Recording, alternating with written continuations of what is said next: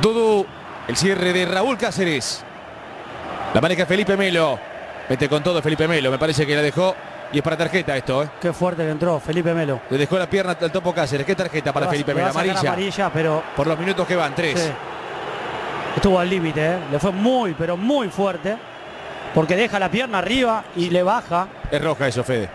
con los tapones abajo. Fíjense, ahí abajo, muy fuerte a Víctor Cáceres. Eh, tiene en su haber Felipe Melo. De filo al lado de la acción, no, no, le, ba- le baja los tapones en, en la tibia.